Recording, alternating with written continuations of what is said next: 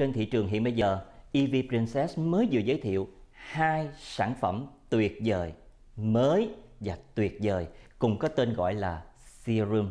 Nhưng mỗi một lọ serum sẽ có một công dụng khác nhau. Đầu tiên, Thanh Tùng giới thiệu với quý vị loại có tên là Collagen Serum. Collagen là chất rất cần thiết cho cơ thể của mình và đặc biệt là cho các tế bào trên gương mặt của mình. Ở tuổi 40, 50, 60, 70 hoặc nhiều hơn nữa, đương nhiên là tế bào mình sẽ không đủ.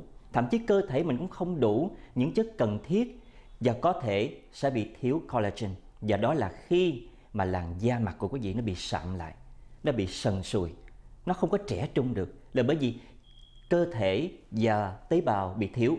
Thì cái loại mà collagen serum này nè tác động trực tiếp vào tế bào bên dưới làn da mang theo collagen đã được tinh chế.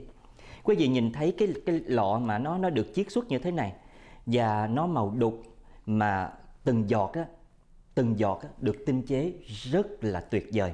Quý vị chỉ cần mở cái lọ này ra dùng cái cái cái cái ống hút này quý vị nhỏ từng giọt từng giọt như thế này mình lấy serum ở dưới mình nhỏ từng giọt thế này thoa lên trên gương mặt quý vị. Mỗi một ngày mình chỉ cần làm như vậy khoảng từ 1 cho đến 2 lần mỗi lần là khoảng từ 1 cho đến 2 giọt.